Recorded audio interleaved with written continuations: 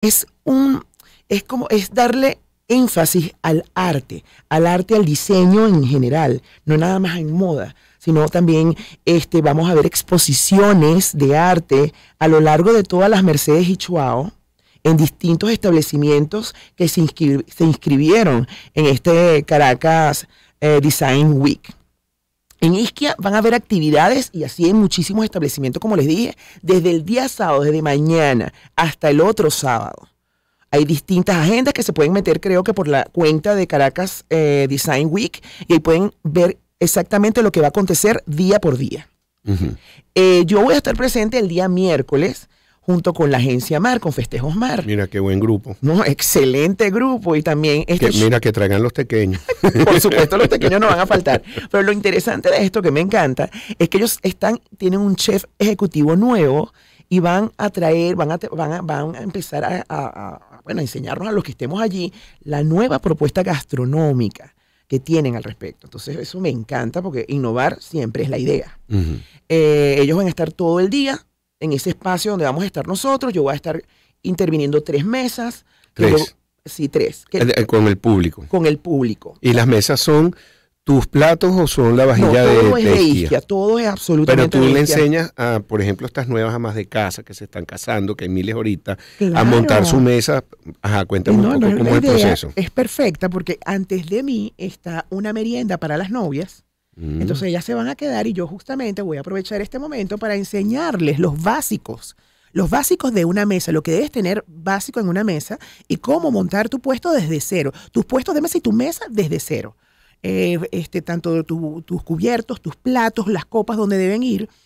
Y aparte de eso, después les voy a también hablar un poco, y no es nada más a las novias, sino todo el público en general, les voy a hablar un poco del arte de saber recibir en casa. Es un arte. De la etiqueta, que eso veníamos a hablar hoy no aquí. No nada más la etiqueta, por supuesto la etiqueta es muy importante, pero es el recibir, el hacer, hacerles pasar a tus invitados un momento memorable en tu casa. Memorable que no lo olviden. Entonces, para eso tú tienes que tener ciertos, seguir ciertas reglas que no, que debes no debes dejarlas de hacer. Entonces, todo eso vamos a estar hablando. Porque la idea de la etiqueta, que es muy importante conocer las reglas de la etiqueta y protocolo, pero ¿para qué conocerlas? Conocerlas para saber cuándo y en qué momento las puedes flexibilizar. Porque el mundo no es rígido, Pedro. Tú no puedes vivir en un mundo rígido. tenemos diversidad de todo actualmente. Diversidad de cultos, de religiones, de, sexo, de, y también la mesa. Entonces la idea de la vida, yo pienso, es disfrutarla y ser feliz. Muy bien. Mira, ¿por qué se puso de moda las mesas en la pandemia?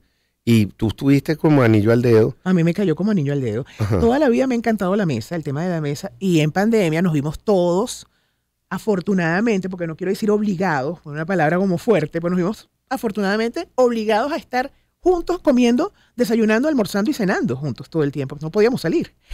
Pues yo tuve la suerte de tener a mis hijos en casa y yo hacía mesas, desayuno, almuerzo y cena.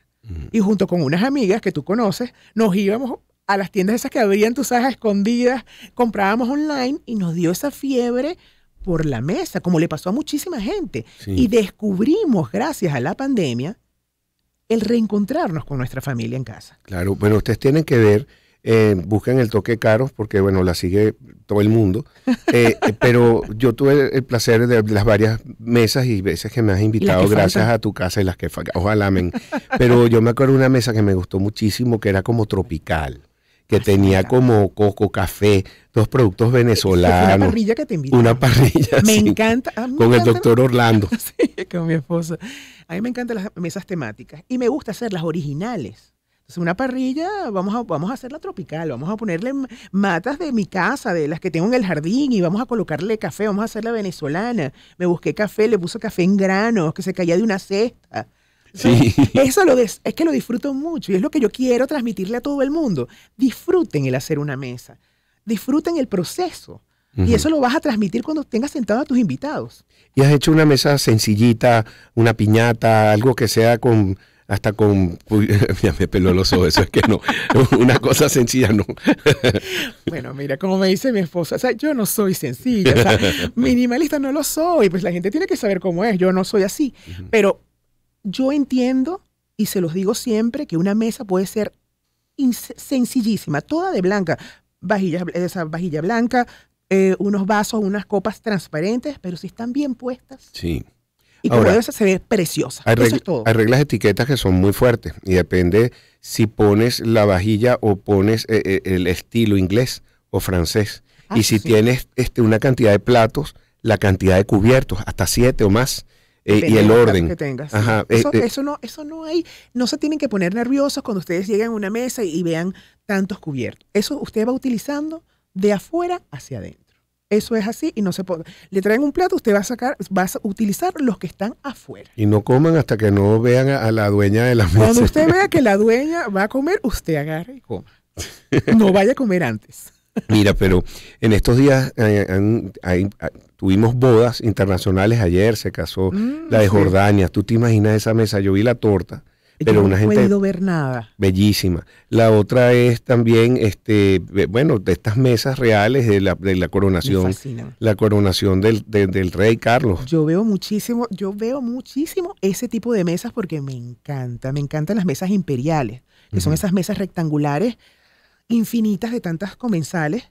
Eso me, porque se ve justamente cuando una mesa está bien puesta, tú te das cuenta que en una mesa rectangular todo sigue una línea. Sí. Mira, Carolina, ¿alguna recomendación para las personas que quieran seguirte o que quieran también eh, hacer una mesa o que las, que las orientes, por favor? Bueno, yo presto asesorías. Este, se pueden comunicar conmigo a través de, de Instagram, por DM, o simplemente seguirme siempre yo estoy dándoles tips. Ahí, si revisan la cuenta, hay muchas mesas donde les explico cómo se desarrolla el proceso creativo, qué hacer. Vienen muchísimas cosas buenas, va a haber, cursos online, este, aparte de, los, de, de, las conferencias que vienen próximas para el segundo semestre del año.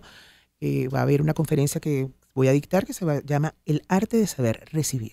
Ah, muy bien. Ok, ¿eso es cuándo? En el segundo semestre, todavía no tengo fecha. Y tienes un libro que estás por ahí. Y eso me tiene emocionada. es un hijito que está por allí eh, cocinándose.